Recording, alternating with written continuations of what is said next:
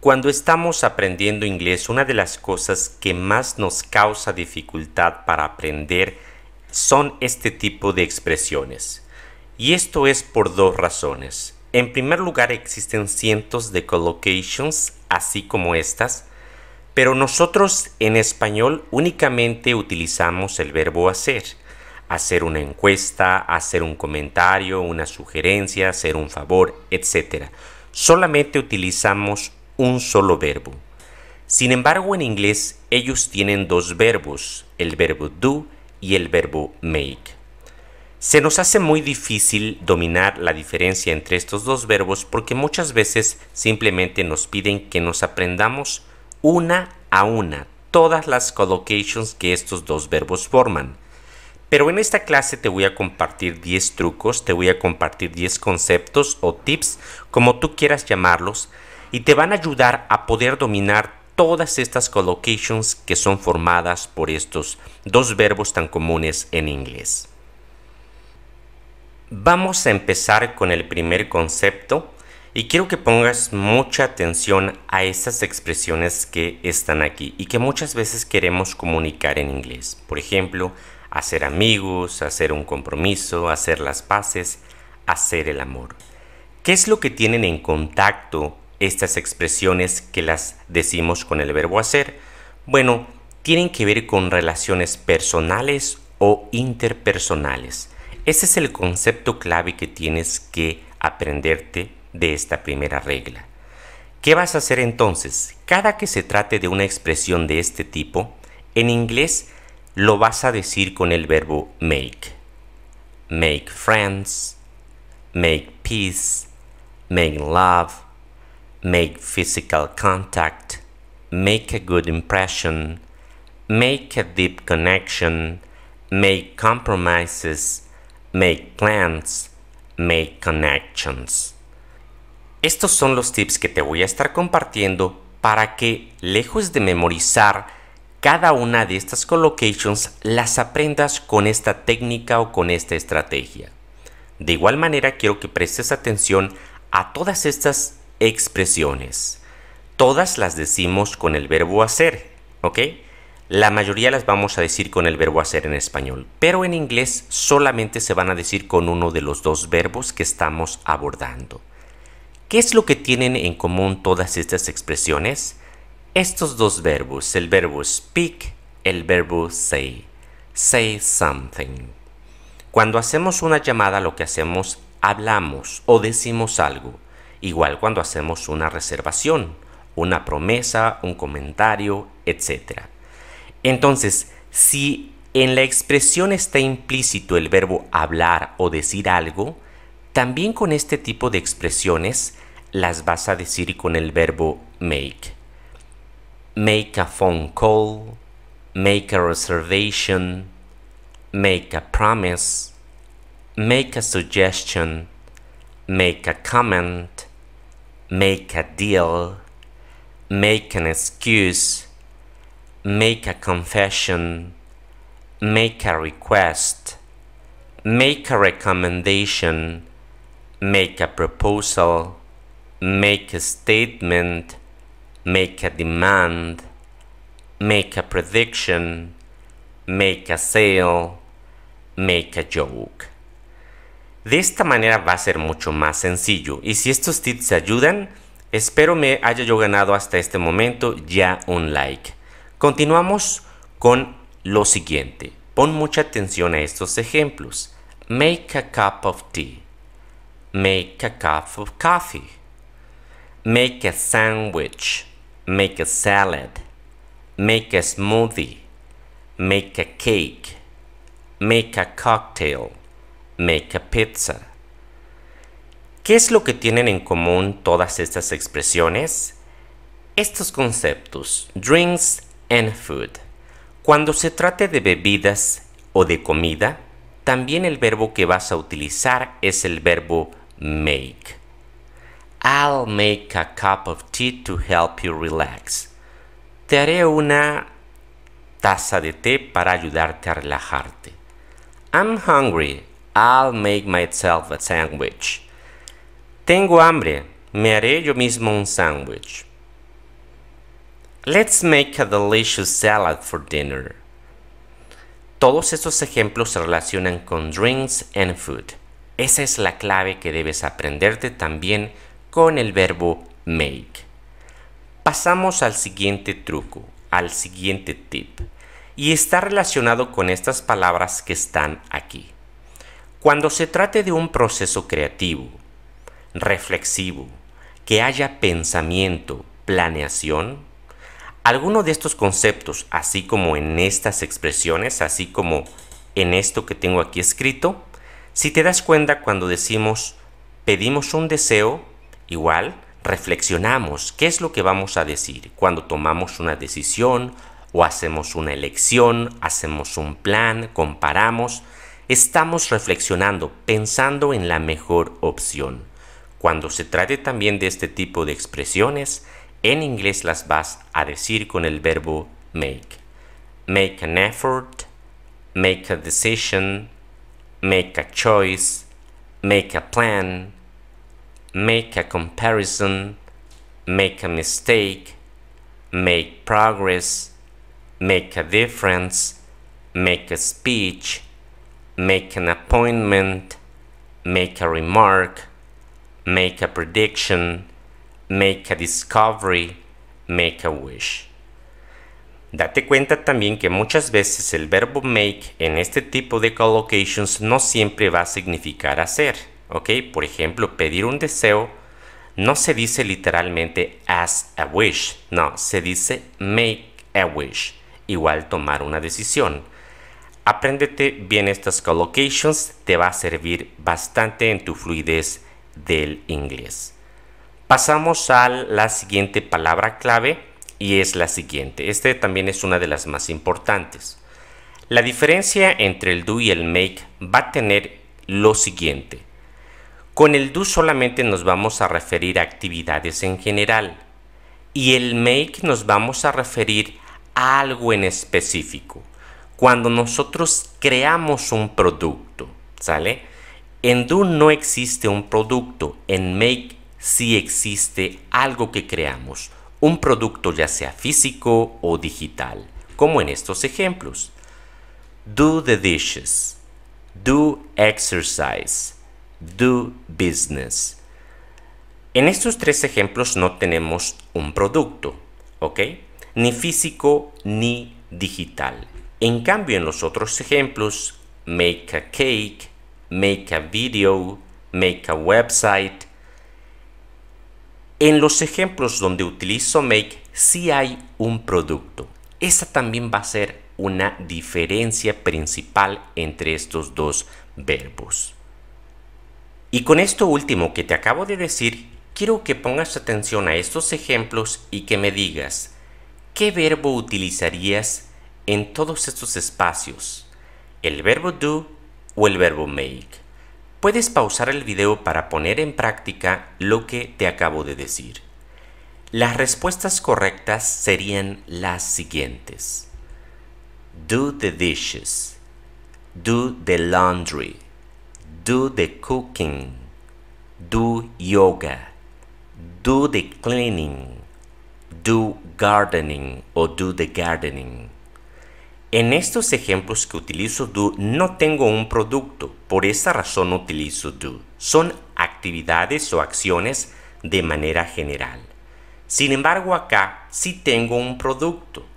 A sandwich, a cup of tea, a cake, a list, a donation, a payment, a withdrawal, a contribution, a recording, a copy.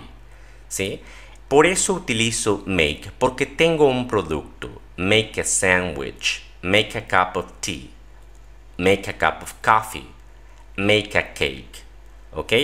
Entonces va a ser muy fácil identificar con estos conceptos que solamente te estoy compartiendo en esta clase. Muy bien, continuemos con más conceptos que te van a ayudar a dominar la diferencia entre estos dos verbos. Y el concepto que sigue es good and bad. Good and bad.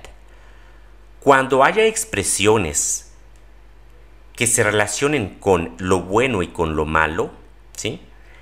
Estas las vas a decir con el verbo do. como en estos ejemplos. Do harm, do evil, do damage, do wrong, do injustice. Se relacionan con estos conceptos, lo bueno y lo malo, hacer el bien, hacer el mal. Por lo tanto, en este tipo de ejemplos utilizo el verbo do. The intention was never to do harm. They never do evil to innocent people. The storm did damage to the town's infrastructure. She felt guilty for doing wrong. Y sucede lo mismo con estos otros ejemplos relacionados con el bien y con el mal. Do good. She dedicated her life to doing good for others. Do charity work. He volunteers to do charity work every weekend. Do a favor. Could you do me a favor? Could you do me a favor? Do community service. The judge sentenced him to do community service. Do a good deed. El siguiente concepto clave quiero que ustedes me lo digan. Pongan atención ahora a todas estas expresiones o collocations y quiero que me digan cuál es el concepto que tienen en común. Como pueden darse cuenta, se relacionan mucho con la belleza, beauty. Entonces, cada que quieras expresar alguna collocation con el verbo hacer relacionado con belleza, también todas estas se dicen con el verbo do. Do your hair. Do your makeup. Do your nails. Todas estas se van a decir con el verbo do ya que se relacionan con belleza. Do a beauty makeover. Do your hair. Do your makeup.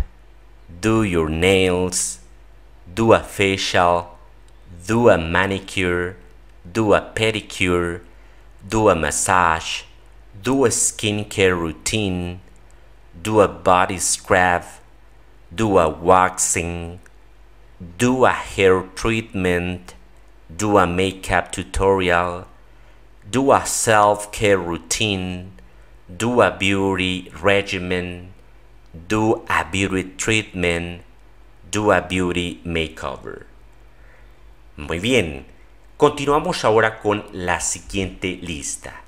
Aquí no te voy a dar ningún premio porque me digas cuál es la palabra que tienen en común todas estas collocations. ¿Verdad que es muy fácil? Perfecto, es sports. También todas las collocations relacionadas con deportes las vas a decir en inglés con el verbo do do yoga, do swimming, do boxing, do weightlifting, do skiing, do surfing, do cycling, do hiking, do archery, do golf, do tennis, do basketball, do volleyball, do horseback riding, do ice skating. Muy bien, pasemos ahora a la siguiente lista, también de collocations. Todas estas, si te das cuenta, se dicen con el verbo hacer. Pero ¿cuál de los dos verbos que existen en inglés vamos a utilizar? La pregunta va a ser muy sencilla. ¿Con qué conceptos se relacionan todas estas expresiones? Como puedes ver, el concepto es school o la escuela. Cuando haya collocations relacionadas así con la escuela, también todas las vas a decir con el verbo do. Do your homework. Do a job. Do a task. Do an experiment. Do a project. Do a report. Do a test. Do a calculation do a review, do a reflection, do a workshop, do a math problem, do an assignment. Con algunas de estas expresiones también se puede utilizar el verbo make, pero con otro contexto y con otro significado. Ahora pon atención a este grupo de collocations y quiero también que me digas qué es lo que tienen en común, ya que esta palabra que tengan o este concepto que relacione todas estas expresiones va a ser el que te va a ayudar a dominar estos verbos. Como puedes ver, lo que tienen en común es lo siguiente. Housework. Son tareas del hogar son cosas que hacemos en nuestro hogar. También todas estas expresiones en inglés las vamos a decir con el verbo do. Do housework. Do the dishes. Do the laundry. Do the cleaning. Do the cooking. Do the shopping. Do the ironing. Do the vacuuming do the gardening, do the dusting, do the mopping, do the repairs, do the yard work, do the pet care. Ahora bien amigos, pasemos a hacer un pequeño resumen de lo más esencial de esta clase, que te va a ayudar a dominar los cientos de collocations que se forman con el verbo do y make y por ende vas a poder dominar estos dos verbos tan comunes en inglés. La primera palabra clave es housework. Las collocations que tengan que ver con trabajo en el hogar las vamos a decir con el verbo do. Do the dishes, do the cleaning, for example. Siguiente concepto clave, school. También vamos a utilizar el mismo verbo para lo relacionado con school do the homework, do a task, etc. El otro concepto son sports, los deportes. Do yoga, do horseback riding, do yoga, do horseback riding, etc. Siguiente concepto, beauty. Todo lo relacionado con belleza, con vernos bien, con vanidad, también lo vamos a utilizar con el do do your hair, do your nails. El quinto concepto es good and bad. Lo relacionado con lo bueno y lo malo, igualmente vamos a hacerlo con este mismo verbo do. Do good, do bad. Ahora vamos a ver los conceptos claves para utilizar el verbo make. Y son estos cinco. Product. En primer lugar, si tenemos un producto, vamos a utilizar make make a video, make a cake, ¿ok? Relaciones personales, make love, make friends, hacer el amor, hacer amigos, ¿ok? Lo relacionado con comida y bebidas, make a cup of tea, make a meal. Lo relacionado con reflexionar, con pensar, ¿sí? Make a prediction, make a decision. Lo relacionado con decir algo, make a phone call, make a suggestion. Esto vale completamente oro para que tú puedas dominar la diferencia entre estos dos verbos que nos causan tanto dolor de cabeza. Si esta clase te ha gustado, espero ya estés suscrito a mi canal para que te puedan llegar directamente a ti. Regálame un like para ayudarme en esta plataforma, comparte, déjame un comentario. Si quieres dejarme también un super gracias, te lo agradecería mucho. Pero con un like y que compartas esta clase es más que suficiente. Muchas gracias y nos vemos en la próxima clase.